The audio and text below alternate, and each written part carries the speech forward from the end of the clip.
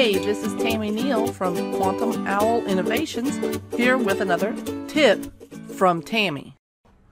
Did you know that in your Google Drive you can now get to the templates right from within your Google Drive for docs, sheets, slides, and forms?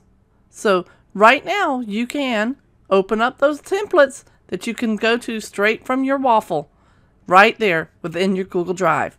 And again, this is tips from Tammy from Quantum Owl Innovations.